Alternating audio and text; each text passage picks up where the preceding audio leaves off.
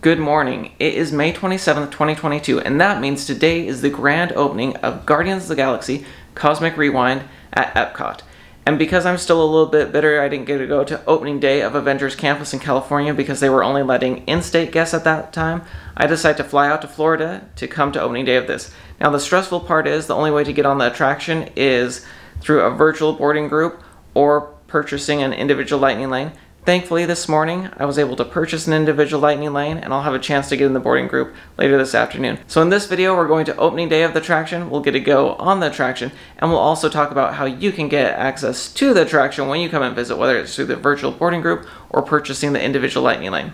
So let's go do this. Alright, let me catch you up. So I got over here to Epcot and I've gone on a bunch of attractions. So far I went on like Frozen, the Grand Fiesta Tour, got a picture with Donald, went over to Living with the Land, and also Soarin'. So I did all those. I also went over to the front of Guardians of the Galaxy, got a picture in front of the ship. That was the longest line I've had to wait in. The line was probably 20 minutes to get a picture in front of the ship.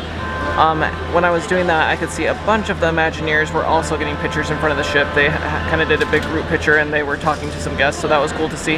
And then I'm going to put in a clip here of how ginormous the line is to get the special opening day merchandise that is at um, the Creation Shop. So that was crazy.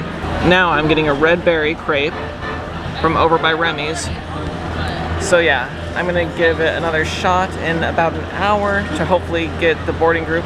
But if not, we're still good because I got the lightning lane. So, so far that's how opening day is going. I'm back in Morocco right now and I'm getting ready to hop on the app to try and get the 1 p.m. boarding group. So we'll see how that goes. I'm all charged up, or I'm getting charged up. I'm ready to go.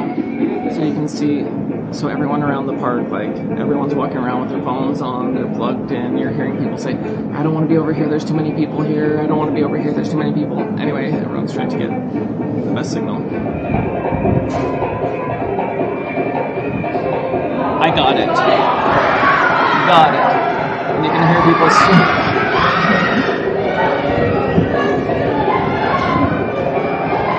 That was wild heart stopped. So you saw me there counting. Once it hit 30 seconds, I counted all the way up. Just kept hitting refresh. Done and done. All right, I'm about to go in the attraction right now. I won't give any big spoilers, but I will show some of the things from just as you're walking through, just some high level things, kind of like you would see in a commercial. And as we walk in, I'll take you through the boarding group process. Currently, each day at 7 a.m. and 1 p.m., you have a chance to join the boarding group if you have a reservation for Epcot. The 7 a.m. chance can be done from anywhere, but to qualify for 1 p.m., you need to have entered Epcot before that time. On the app, from the menu page, you will select Virtual Queues. Then, about 20 to 30 minutes before the boarding group opens, it allows you to confirm your party, so you just want to make sure that your whole group is listed. Then you need to refresh that page when the clock hits 7 or 1. There is a refresh button at the bottom of the page, I recommend clicking on that button every few seconds leading up to the opening of the boarding group because I swear if I don't click it for a minute or two then I click it, that first refresh seems to take a split second longer and you will want every little tiny second on your side. If the boarding group hasn't filled up, a join button will appear. You then need to quickly hit that and if you make it you will get these little updates about how long until you can hop in the line. If you want to try and buy the individual lightning lane, Go to the tip board, make sure you are on Epcot, and you will see it listed as an option under the attraction name. It goes on sale right at 7 to resort hotel guests, and if there are any left, other guests can try and purchase those when the park officially opens.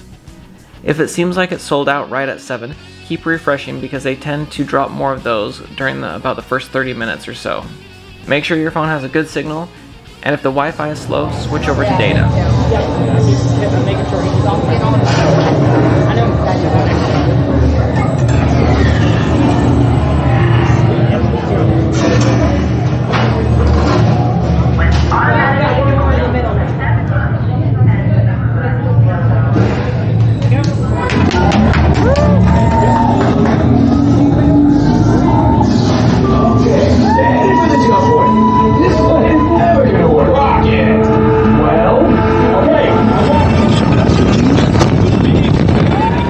Just got off Guardians of the Galaxy Cosmic Rewind. It was a blast. That is so well done. The pre-show, I'm not going to give any big spoilers away here, but there's some pretty cool effects in the pre-show um, that I was surprised by. And then the coaster itself is so smooth.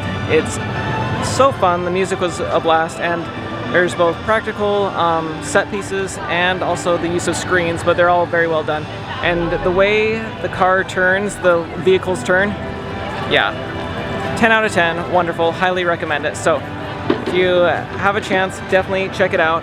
I get to go again later tonight. I'm not going to, in this video, put the full ride through. I recorded the whole ride in 360, so I will post a video of that.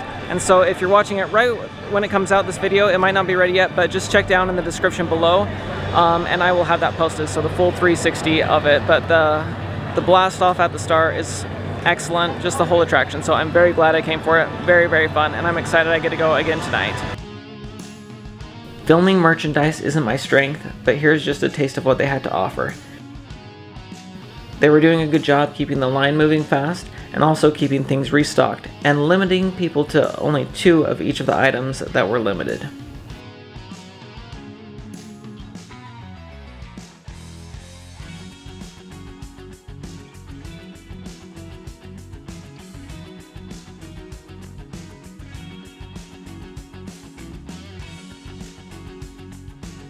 It was a little crowded in there, so once again, sorry for the choppy footage.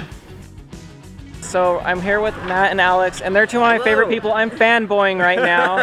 So so are we. So are we. no, so I'm like creepy, and like their their engagement was one of my all-time favorites. Oh, their you. cruise is one of my, so many good ones. So yeah, if you want tips from the Disney Ducks, if you want honest food reviews, honest attractions, mm-hmm. anything else we should, anything else you want to say to the people? No, I mean Eric's the man, so yeah. you're in the right place already. So yeah. you're getting yeah. all the good info. all right, but they're awesome. So very fun to see them here today. So. It was so fun to see Matt and Alex. I've put the link to their YouTube channel and Instagram in the description below. Alright, I'm back at the hotel now. Just to wrap up the night to give you an overview of what happened after that, I went to the Coral Reef for dinner, which was delicious. I had the mahi mahi, the seared mahi mahi, and it was so good. Very good. then I also had the chocolate wave um, for dessert. And that was a chocolate flourless cake with some raspberry sorbet, and that was very good too.